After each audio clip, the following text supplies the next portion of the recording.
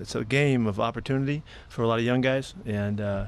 they have their, their really final shot with us to, to, to play their, their ball, show where they where they fit and belong here and in other spots around the league. Um, we have a really nice roster of guys, and it's very competitive. And there's a lot of a lot of battles waged uh, here again this week and this this Thursday night that are going to be important for the for the future for the Seahawks and for the, these players. And so uh, we're going to respect it and honor the heck out of it, and, and give these guys a great chance to um, to be ready to play and then to play and get their ops and show where they belong.